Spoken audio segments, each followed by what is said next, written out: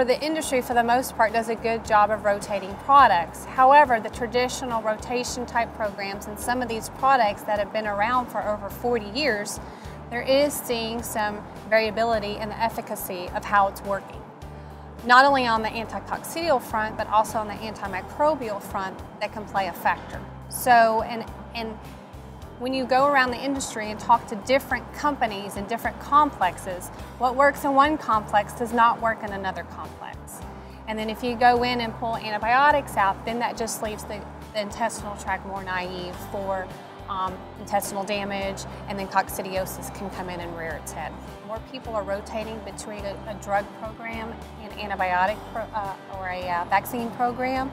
And also now people are running more just straight chemical type programs that um, it's not an ionophore antimicrobial, but it's more of a product that's just strictly an anticoccidial. Some companies can run that beautifully. Other companies run that product and they get necrotic enteritis because there's no antimicrobial effect.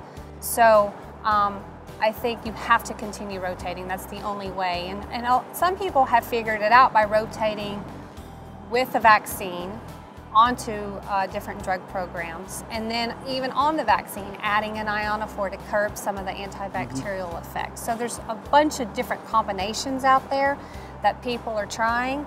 Work great in some locations, other locations it, it doesn't work for whatever reason, whether it be the soil that they're in, the environment, the humidity levels, um, the, all those things definitely play a factor.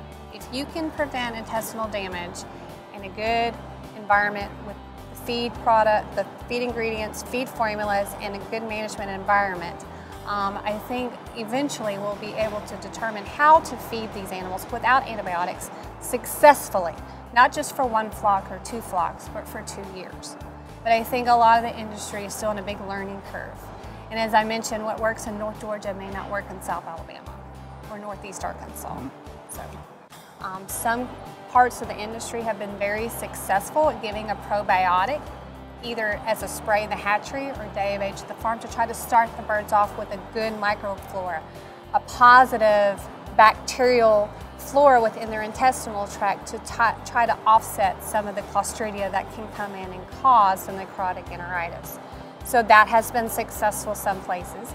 Other places really have to go all the way back to the breeders and start from the ground up there, making sure they have a good microflora and moving it on through the broiler. The broiler. So there's so many different factors that go into things. Um, so I think the, the best way we know right now to mitigate that is either a probiotic at a spray or some type of probiotic in the feed and re- trying to get as much of an acid environment in that intestinal tract to promote the good bacteria as possible.